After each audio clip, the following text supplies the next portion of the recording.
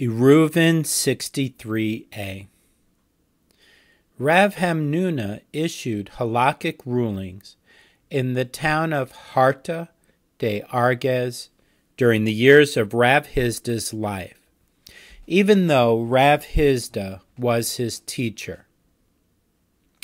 The Gemara relates that Ravina once examined a slaughterer's knife in Babylonia to check if it was fit for slaughtering during the lifetime of his teacher, Rav Ashi, who also lived in Babylonia.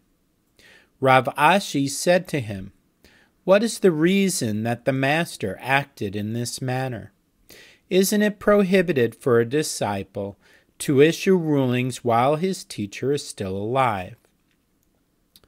Ravina said to him, Didn't Rav Hamnuna issue halakhic rulings in Harta de Arges during the years of Rav Hisda's life. As they were not in the same town, even though they were both located in Babylonia. Since I do not live in the same town as you, it stands to reason that I would be permitted to, to issue rulings as well. Rav Ashi said to Ravina, It was actually stated that Rav Hamnuna did not issue halakhic rulings during Rav Hisda's lifetime, and that is the correct tradition. Ravina said to Rav Ashi, In fact, it was stated that Rav Hamnuna issued rulings, and it was also stated that he did not issue rulings, and both traditions are correct. During the years of the life of Rav Huna, Rav Hamnuna's principal teacher. Rav Hamnuna did not issue rulings at all, but he did issue rulings during the years of Rav Hisda's life. For Rav Hamnuna was Rav Hisda's disciple colleague. And since I, too, am the Master's disciple and colleague, I should also be permitted to examine a slaughterer''s knife when I am not in the same town. Rava said, A Torah scholar may examine a knife for himself and use it for slaughtering without having to show it to the local sage. The Gemara relates that Ravina happened to come to Mehoza, the hometown of Rava. His host brought out a knife for slaughtering and showed it to him.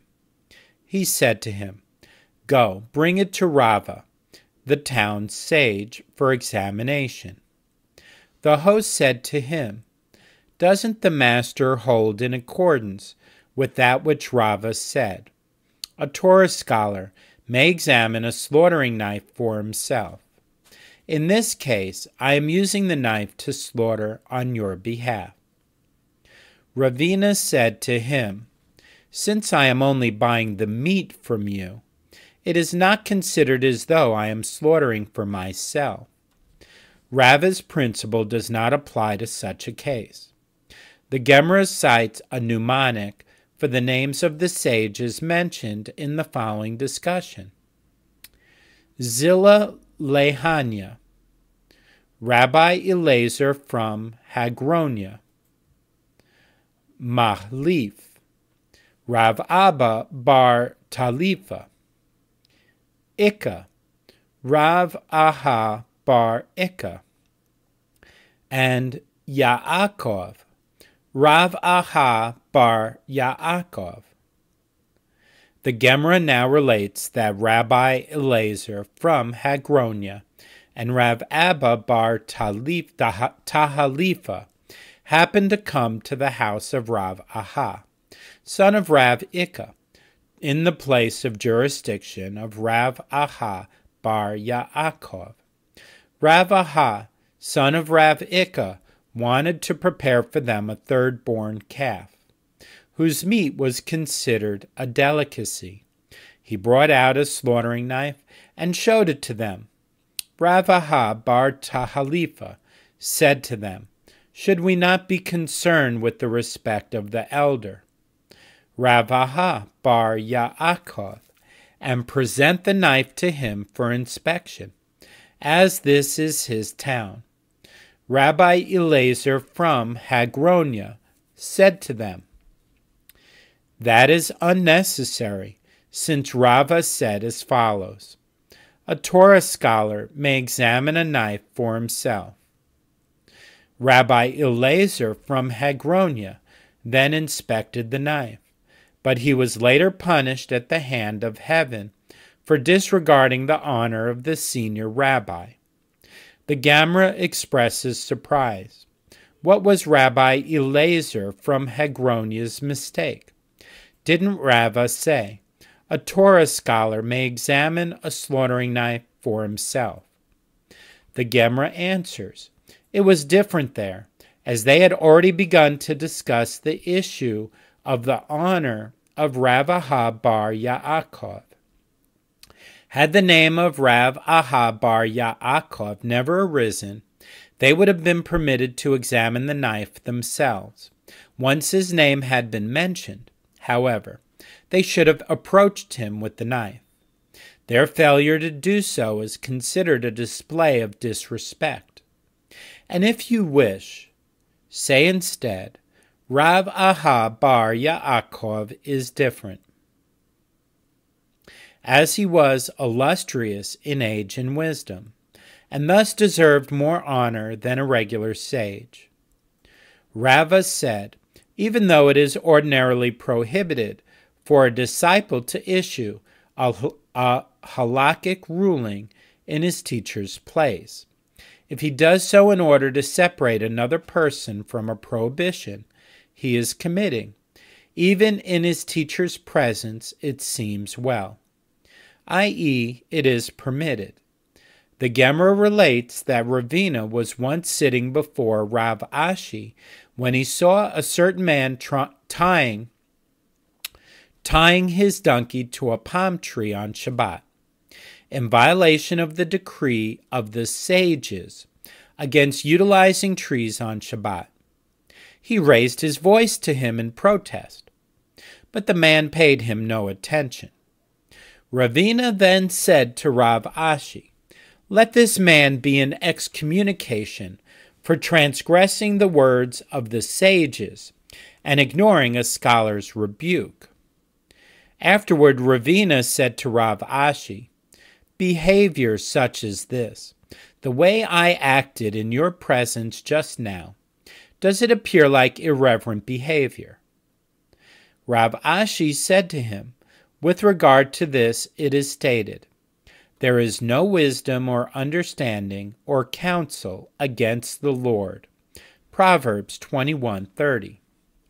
The sages expounded this verse as follows wherever a desecration of God's name is involved.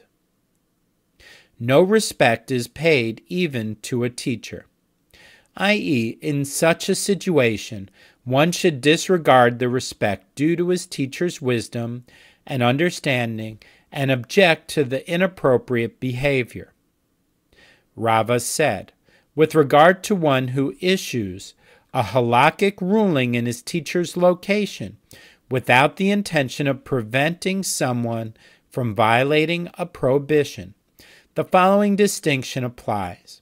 In the teacher's actual presence, the disciple is prohibited to issue such a ruling, and if he does so, he is liable to receive the death penalty at the hand of heaven. However, when he is not in his actual presence, the disciple is still prohibited to issue the ruling, but he is not liable to receive the death penalty. The Gemara asks, asks, Is the disciple not liable to receive the death penalty if he issues his ruling not in the teacher's presence? But wasn't it taught otherwise in a Baraita? Rabbi Eliezer says, the sons of Aaron died only because they issued a halakhic ruling before Moses, their teacher. What did they expound in support of their conclusion that they must bring fire inside as opposed to waiting for fire to come down from the heavens? It is stated in the Torah, and the sons of Aaron the priest shall put fire on the altar and lay the wood in order on the fire. Leviticus 1 7, which led them to say, Although fire descends from heaven, it is nonetheless a mitzvah to bring ordinary fire. Although they derive this from the verses, they were punished for ruling in the presence of their teacher. It was further related that Rabbi Eliezer had a certain disciple who issued a halakhic ruling in his presence. Rabbi Eliezer said to his wife, Imma Shalom, I will be surprised if this one completes his year, i.e., if he lives until the end of the year. And so it was, he did not complete his year. His wife said to him, Are you a prophet? He said to her, I am not a prophet, nor the son of a prophet, but I have received the following tradition. Anyone who issues a halakhic ruling in his teacher's presence is liable to receive the death penalty. And Rabbah bar bar Hana said that Rabbi Yohanan said, That disciple was named Yehuda ben Guriah, and he was three parasangs away from Rabbi Eliezer. Apparently, one is liable for the death penalty even if he did not issue his ruling in his teacher's presence. The Gemara answers In fact, the incident took place in the actual presence of the teacher, which is why the disciple was punished. The distance mentioned refers to the distance between the student's usual place and the teacher. The Gemara expresses surprise. But didn't Rabbi Bar Bar Hena say that he was three parasangs away from his teacher? That implies that this was his distance from his teacher at the time of the ruling. The Gemara answers, and according to your reasoning, that the details of the story must relate to the time of the ruling. Why mention his name and his father's name? Rather, the details were given so that you should not say it was a parable. That is also the reason why he provided the details concerning the student's usual place. This does not contradict the fact that Yehuda ben Guriah issued his ruling in the actual presence of his teacher. The Gemara continues to discuss the same topic. Rabbi Haya bar Abba said that Rabbi Yohanan said, Whoever issues a halakhic ruling in his teacher's presence is deserving of being bitten by a snake. As it is stated, quote, And Elihu, son of Barachel, the Buzite, answered and said, I am young, and you are very old. Therefore I held back, Zahalti, and I was afraid, and did not declare my opinion to you. Unquote. Job 32 6. And it is written, With the venom of the crawling things of Zohale, the dust. Deuteronomy 32 24, which refers to snakes. Elihu's statement is understood as follows I must apologize for speaking in my teacher's presence, for one who does so is liable to be punished with the bite of a snake. Ze'iri said that Rabbi Hanina said, Whoever issues a halakhic ruling in his teacher's presence is called a sinner, as it is stated, Your word have I hidden in my heart, that I might not sin against you. Psalms 119, 11. In what case would speaking one's word entail a sin? In a case where one rules on a matter of halakha in the presence of his teacher. Rav Hamnuna raised a contradiction between the verse previously mentioned and another verse. It is written, your word have I hidden in my heart, implying that David did not want to reveal the words of Torah, whereas in a second verse it is written, I have preached righteousness in the great congregation. Psalms 40 10. He answered, This is not difficult. Here, in the verse in which David remained silent, it is referring to the period when Ira HaYairi, David's teacher, was alive. There, in the verse where he publicized his words, it is referring to the period when Ira HaYairi was no longer alive. Having mentioned Ira HaYairi, the Gemara now cites a related teaching. Rabbi Abba bar Zavda said, Whoever gives all his priestly gifts to one priest has acted improperly and brings famine into the world as punishment. As it is stated, and also Ira Hayairi was a priest for David. 2 Samuel 20 26, which invites the question Was he a priest for David alone, and not for anyone else? Rather, it means that David would send all his priestly gifts to him alone, i.e., he was the only priest to enjoy David's gifts. And it is written afterward, and there was a famine in the days of David, three years, year after year. 2 Samuel 21 1. Rabbi Eliezer says, Anyone who rules in his teacher's presence is lowered from his position of greatness, as it is stated. And Eleazar the priest said to the men of war who went to battle, This is the statute of the Torah which the Lord commanded Moses. Numbers 31:21. Although Eleazar said to the soldiers, God commanded this statute to my father's brother, while to me he did not command it. Even so, he was punished for speaking in this manner in the presence of his teacher Moses. What was his punishment? As it is written that God had told Moses with regard to Joshua, and he shall stand before Eleazar the priest, who shall inquire for him by the judgment of the Urim before the Lord. At his word shall they go out, and at his word they shall come in both he and all the children of Israel with him, even all the congregation. Numbers 27 21.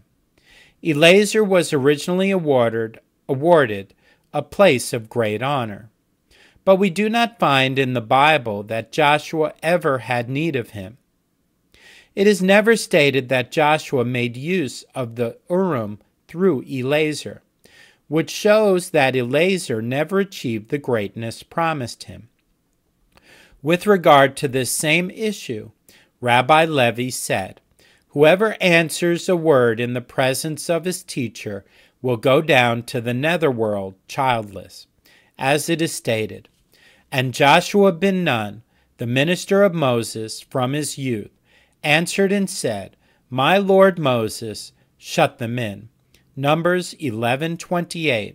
Since he spoke to his teacher out of turn, he was punished by remaining childless.